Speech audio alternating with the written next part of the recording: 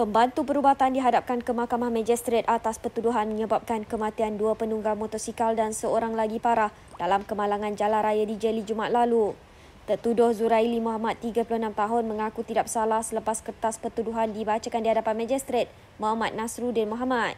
Zuraili yang bertugas di sebuah klinik kerajaan didakwa memandu sebuah kereta secara membahaya sehingga menyebabkan kematian dua penunggang motosikal manakala seorang lagi cedera parah tertuduh didakwa mengikut Seksyen 41 kurungan 1 Akta Pengangkutan Jalan 1987.